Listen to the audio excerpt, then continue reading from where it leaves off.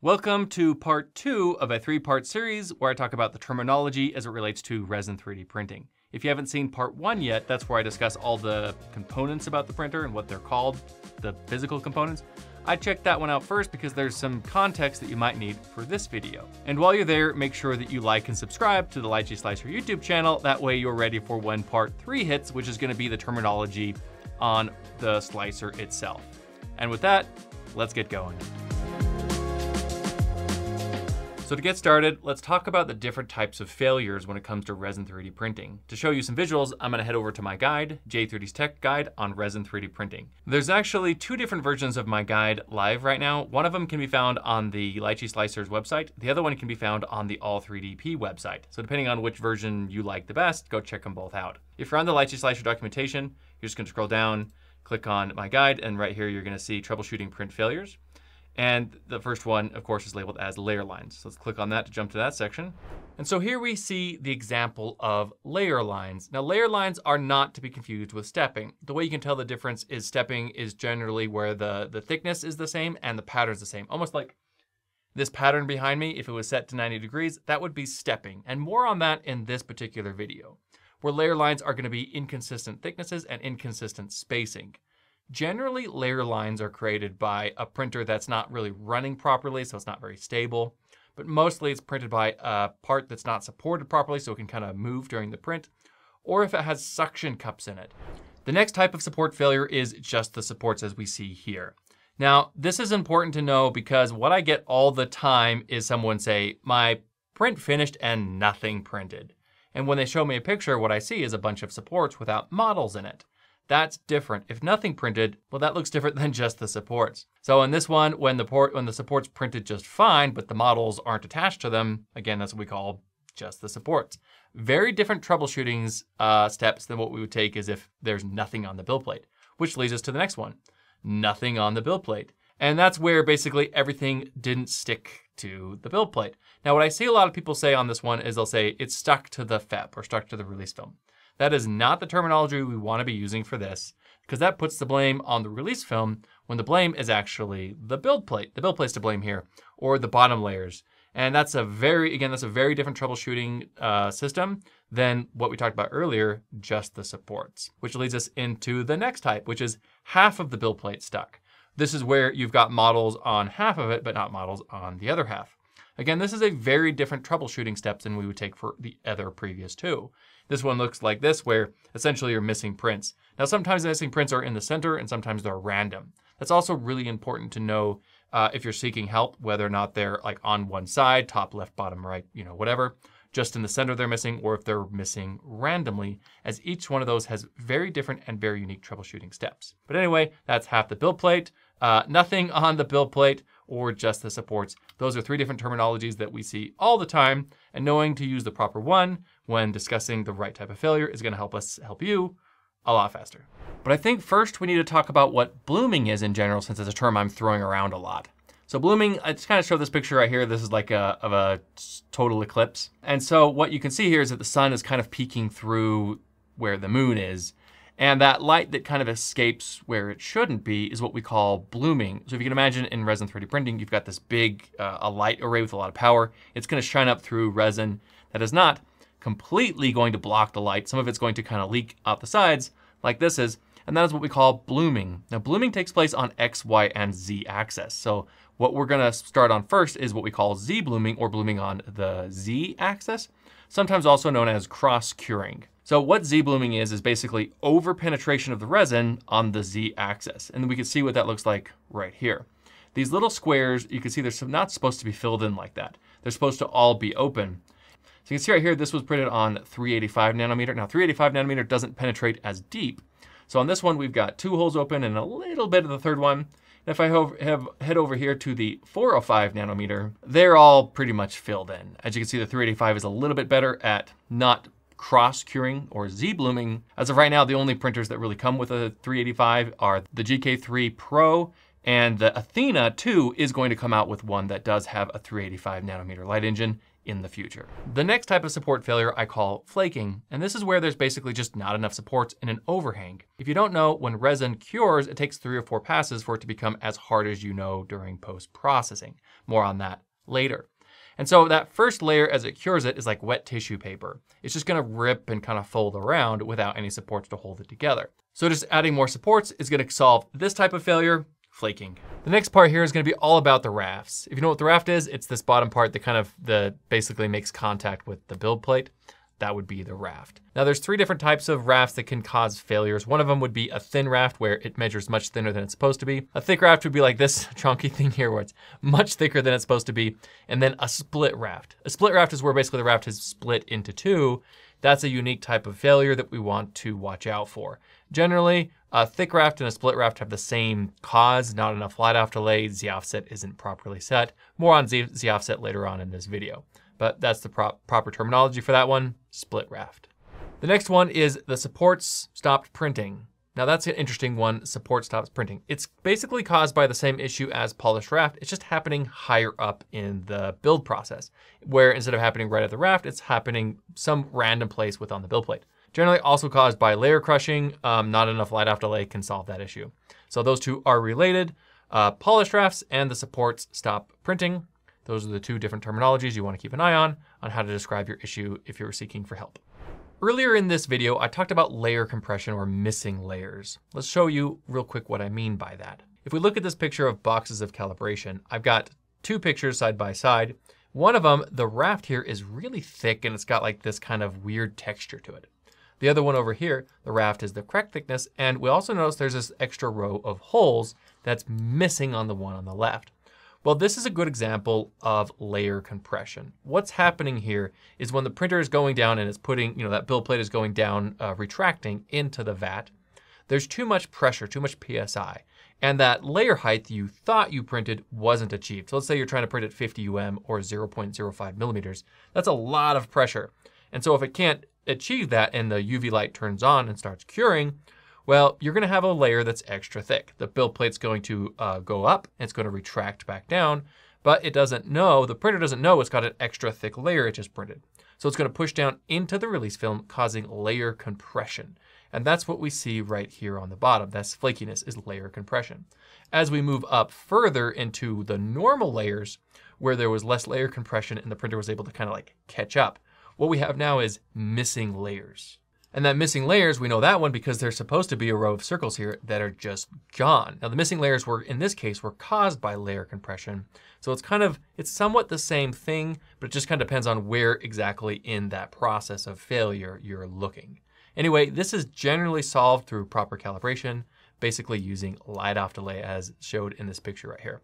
These pictures are from another video that I made doing proper calibration using boxes of calibration. Go check that video out on the Lychee Slicer YouTube channel so you know how to do proper calibration to avoid problems like these, basically layer compression or missing layers. And earlier in this, I showed you something that looked like layer lines and how layer lines isn't stepping. Well, if you don't know what stepping is, that's the next section, stepping and voxels. So let's show you the difference and help you understand how they work, how they relate, and what they mean and what they don't mean, and a bunch of other mumbo jumbo. All right, so here I have, uh, this is something I did on the Mars 5 Ultra, a very accurate printer, one I actually enjoy using quite a bit.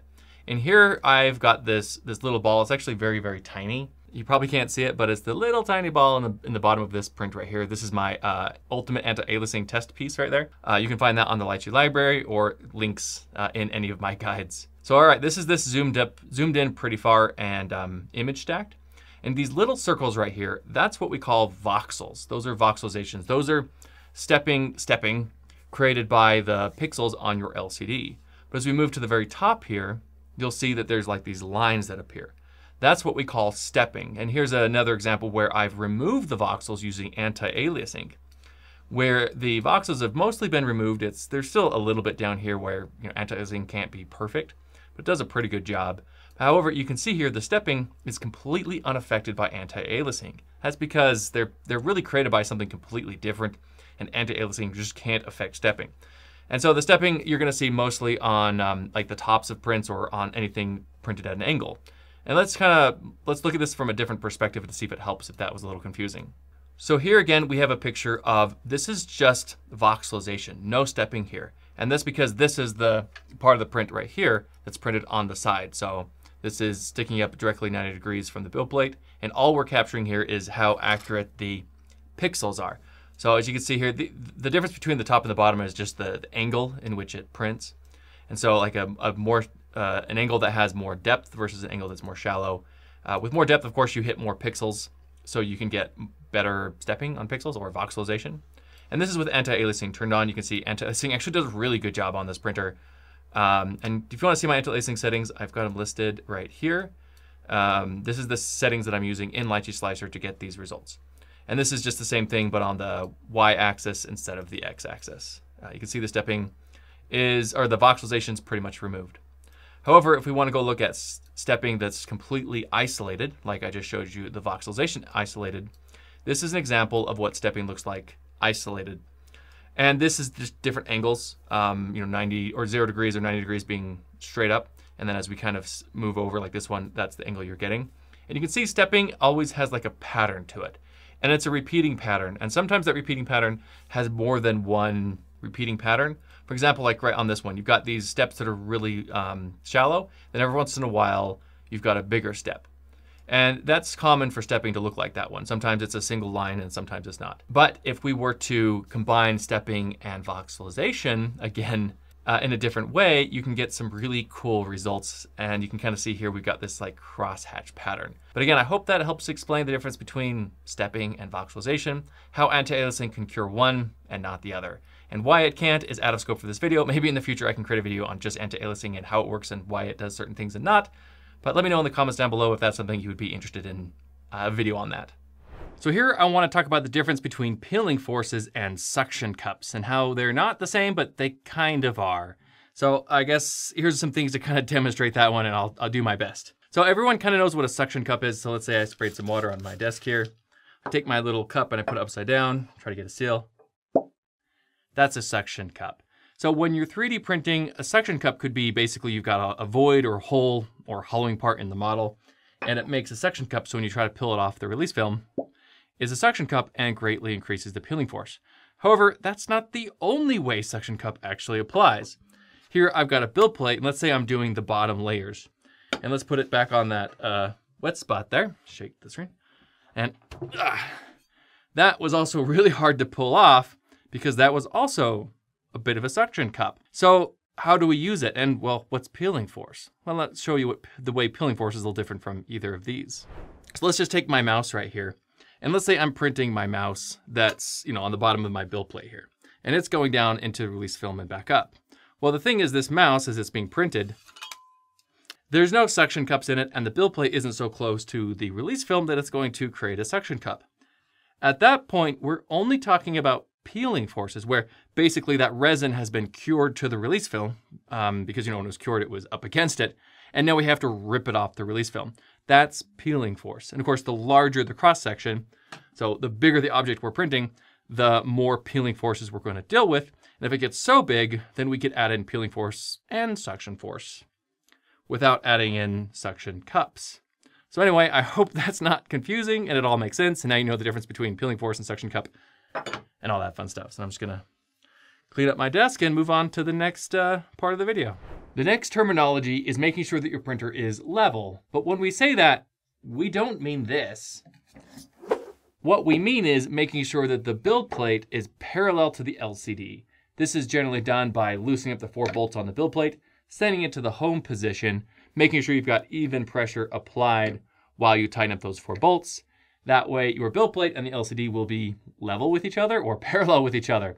But anyway, that's what we mean when we say make sure your printer is level. With that said, we wanna make sure if you've got a printer like the Saturn 4 Ultra here with the tilting vat, that you do actually take the time to level it.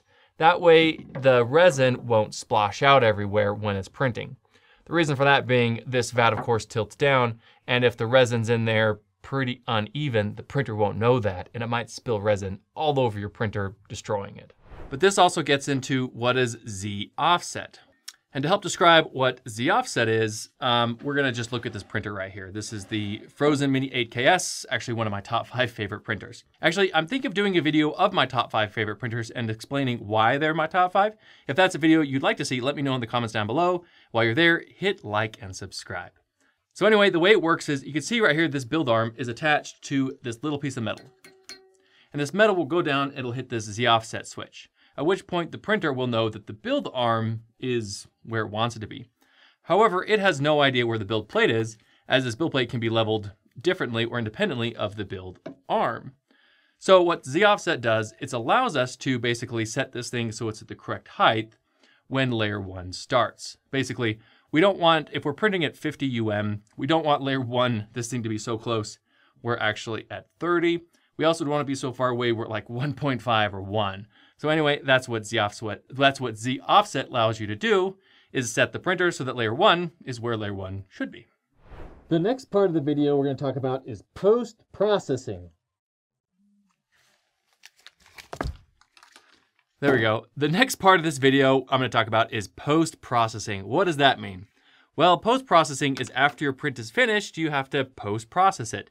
This entails removing it from the build plate using a scraper like that, removing the supports, and then cleaning it in generally a wash and cure station. Here's a dirty wash and cure station I've had. It's actually one of the first machines I ever bought. It's about three years old, so it's a little bit dirty. I actually threw away the wash station so you can't see it. But you clean it in generally IPA or something like that, which brings us to the next terminology. Cleaning solution. What is IPA? Well, IPA or isopropyl isopropyl isopropyl alcohol. There's two other types of alcohols that are commonly used. Depending on where you live, they can actually be cheaper or more expensive than IPA. That's going to be ethanol or denatured alcohol. Denatured alcohol is the type of alcohol you could drink, but it's been denatured, meaning they've added crap to it that will kill you if you try to drink it. IPA is a synthetic type of alcohol. They're chemically different. And then there's ethanol, which is also chemically different. The pros and cons of each one is like IPA evaporates the fastest, leaves no residue behind. The denatured alcohol and ethanol evaporate slower, but they leave, it they leave behind a residue. However, they are overall less toxic than IPA. Again, it's which one you use is just up to where you live and which one is cheaper and which one you want to use. There are two other types of cleaning solutions, basically water, if you're using water washable resin, and there's like the proprietary cleaning, cleaning solutions that are for resin 3D printing. Uh, when you use water, treat it like contaminated water, treat it like resin uh, because it's had resin in it, so you have to you know, dispose of it properly, not down your drains. Same thing with the cleaning solution, just treat it properly. But anyway, all those clumped together, that's what we call cleaning solutions, which is what you're gonna use as part of your post-processing. All right, and I think that's it for this one. Make sure you share this with anyone who you think needs it. Also stay tuned for part three, where I cover all of the terminology used in Lychee Slicer. Make sure to like and subscribe to the YouTube channel because it helps me to continue making content like this for you. And if you haven't done it yet, join us on the Lychee Slicer Discord for any assistance you have with resin or even filament 3D printing. And as always, thank you for watching and have a good day.